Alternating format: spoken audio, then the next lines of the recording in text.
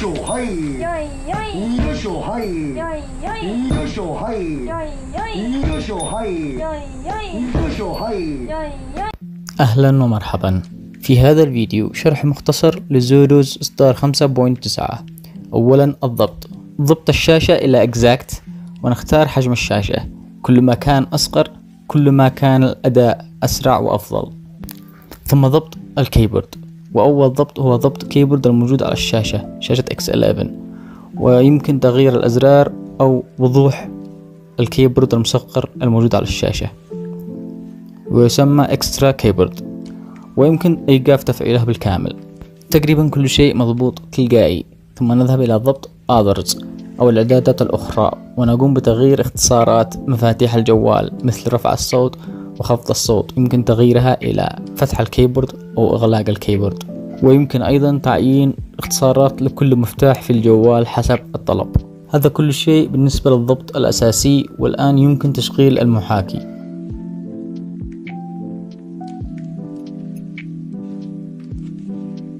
أولا نقوم باختيار تعريف كرت الشاشة. وإذا كان Snapdragon نختار Turnip وإذا كنت تريد تسريع الأجهزة نختار hardware acceleration أما لبرامج لينكس مثل Blender فنختار ال يمكن تجربة hardware acceleration أو تسريع الأجهزة من هنا. تجربة الشاشة.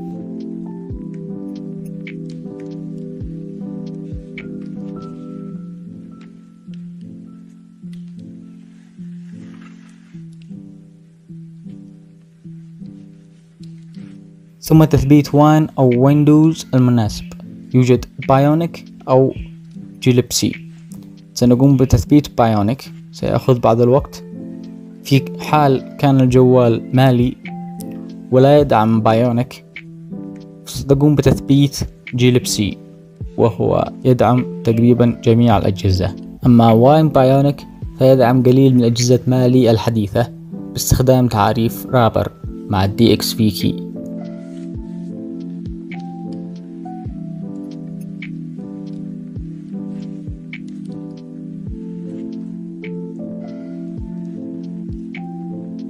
بعد اكتمال التثبيت نذهب إلى سطح المكتب ونذهب إلى تجربة الشاشة ونقوم بتجربة الشاشة لمعرفة ما إذا كان التعريف مناسب. حاليا ال DXVK غير متوفر سنقوم بتثبيته من الضبط الجديد.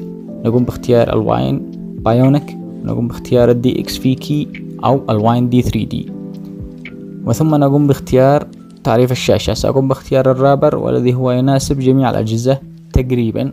وعدد النواة للمعالج سنختار سبعة. ونعمل OK سيتم الحفظ.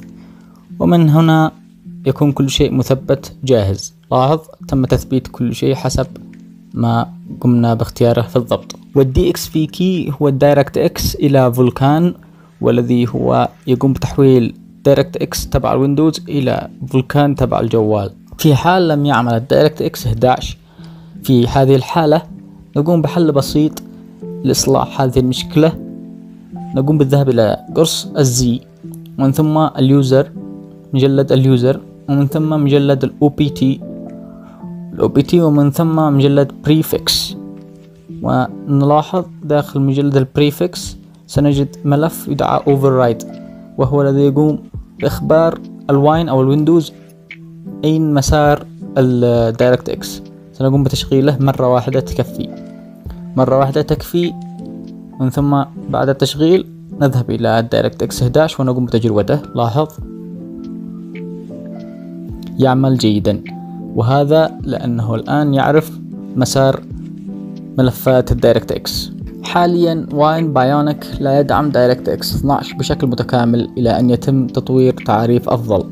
والآن لفتح ملفات ال EXE أو الألعاب من مدير الملفات بسهولة. نقوم بهذا الشرح المبسط لفهم عملية فتح الملفات عبر ويندوز أو عبر Wine حدد مكان ال EXE وثم right click أو زر الأيمن للفأرة. ومن ثم نختار Open with Wine Bionic. Wine Bionic لل Bionic وال glibc لل glibc لاحظ ال Wine Bionic لأن إحنا قمنا بتثبيت Wine Bionic في حال ثبتت ال glibc تختار Wine glibc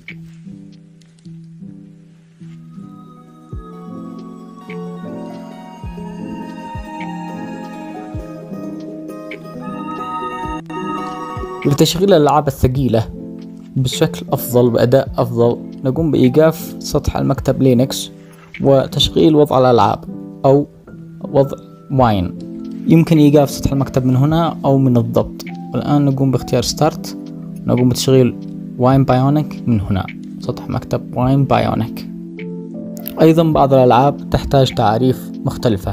فلذلك اختار تعريف المناسب للعبة في حال لم تعمل قم بتغيير التعريف أو ال DXVK والآن نقوم بتجربة يد يد التحكم أو عصا التحكم من هنا.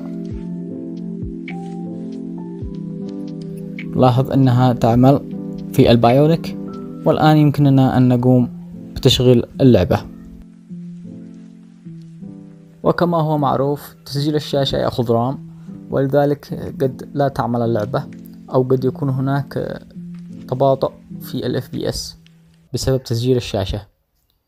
وبعض الأحيان قد تتوقف اللعبة عن العمل بسبب تسجيل الشاشة لذلك لا أنصح بتسجيل الشاشة للرام الضعيف.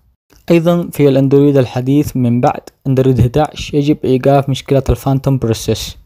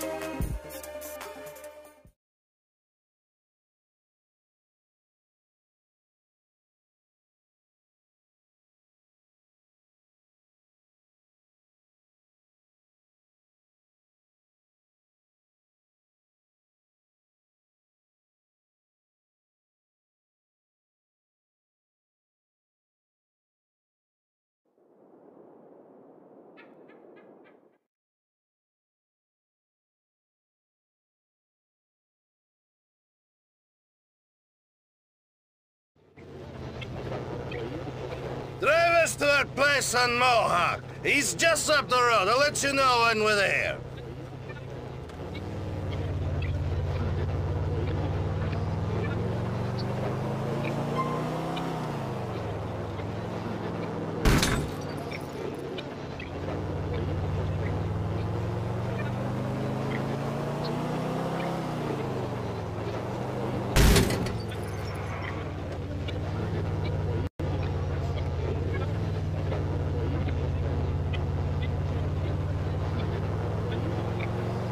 Don't you show me around the city?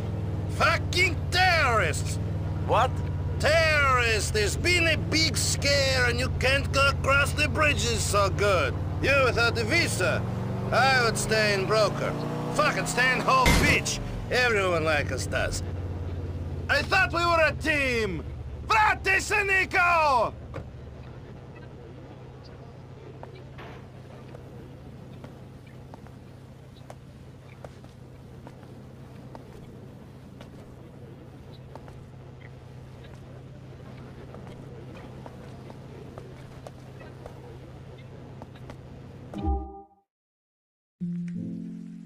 ومن الضبط process manager أو مدير المهام يمكن التحكم بالمهام أو إيقافها أو فتح مهام جديدة مثل ال task manager وغيره. والآن ننتقل إلى نظام ال proot وما هو الجديد في نظام ال proot. أولا نقوم بتثبيت النظام عن طريق start menu ومن ثم اختيار install أو restore قم باختيار هذا ال- الخيار ونقوم باختيار ملف ال proot الجديد. وهو XoDos proot خمسة point تسعة. وهو الأخير حاليا. أثناء تسجيل هذا الفيديو هذا آخر إصدار. وأيضا باختصار نظام proot ليس مهم للمحاكي وإنما لدعم برامج لينكس أكثر. بعد انتهاء التثبيت نقوم باختيار proot desktop ونقوم باختيار without root أو with root. الفرق هو صلاحية ال root لل user للمستخدم صلاحية ال root. إحنا سنختار بصلاحية ال root ونقوم باختيار ال Debian لينكس Debian ثم نختار CPU حسب الاستخدام. وال CPU هو أكثر استقرار. الآن سيقوم بتثبيت ال Wine تبع البروت. وقد يأخذ وقت أطول من التثبيت العادي لأنه بروت معروف أنه أثقل.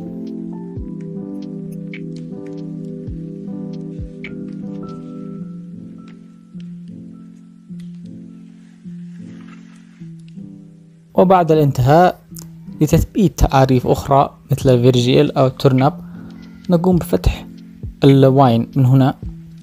من هذا الاختصار نقوم بفتح Wine Explorer أو متصفح Wine.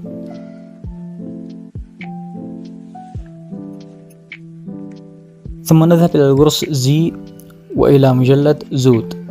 يوجد تجربة الشاشة وأيضا تثبيت التعاريف. ثم نقوم بتجربة الشاشة.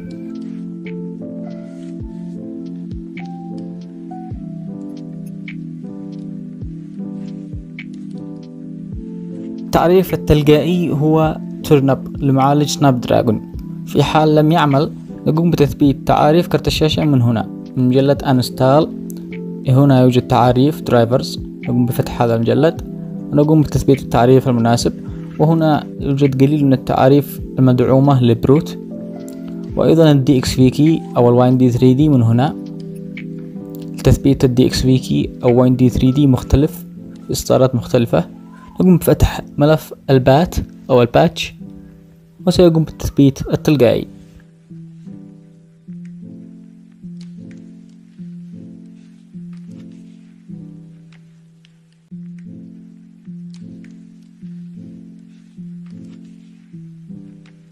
أيضا تحتاج ملف ال registry لتشغيل DirectX 11 من مجلد ال opt نفس ما عملنا في بداية الفيديو. أيضا لاحظ أنه تم تغيير ال DXVK أيضا يمكن تغيير ألوان ال Wine من هنا وغيره. آه، بسبب أن ال Word يظهر باللون الأسود.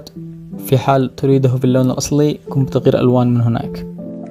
وفي حال تريد استخدام ال Office أو ال Word وال Excel تقوم بتثبيته من هنا. نقوم بتشغيل هذا الملف الاختصار وهذا رقم ال registry. ونقوم بنسخه. بعمل تظليل اختيار من ثم نقوم بالنسخ. والصاق في نافذة التثبيت لل Office. لصق. ونعمل التالي أو موافق.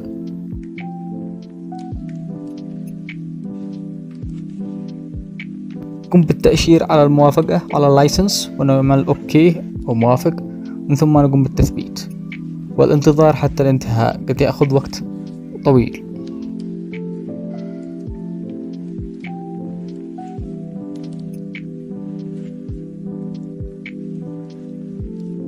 وبعد انتهاء التثبيت نقوم بإغلاق نافذة التثبيت.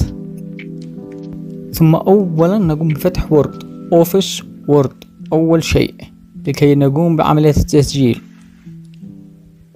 يجب إدخال اسم أو نعمل موافق. لا يحتاج اسم. ومن ثم نعمل موافق. okay. ثم نختار تليفون. تسجيل عن طريق التليفون. register over telephone. نعمل اختيار الدولة. أي دولة تريد؟ قم باختيارها. آه، لا يحتاج إنترنت. لا يحتاج اتصال بإنترنت. قم بعمل ادخال أي رقم.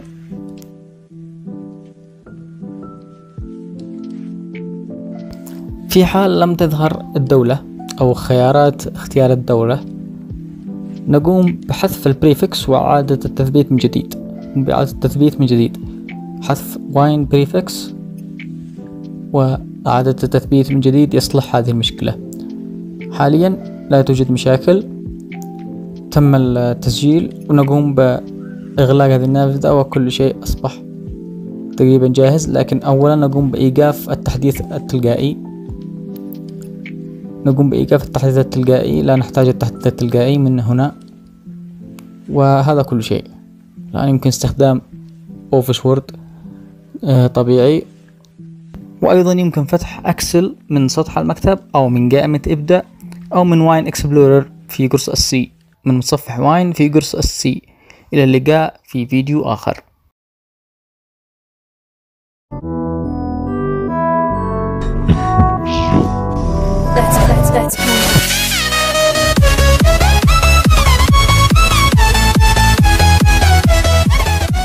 Good mods.